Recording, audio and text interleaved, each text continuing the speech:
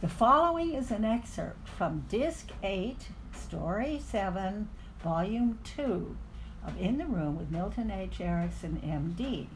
To purchase these DVDs, and I hope you'd like to, please go to miltonericksondvds.com. Thank you.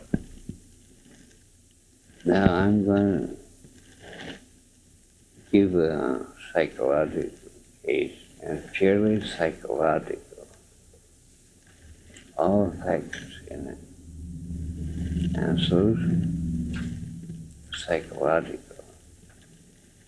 Every one of you ought to know the solution of therapy. But all of you are so restricted in thinking. You're not like to think of therapy. And look at textbooks for. Textbooks are very general, and each patient is unique individual. And therapy should be tailored to fit the patient. The patient should be tailored to the therapy.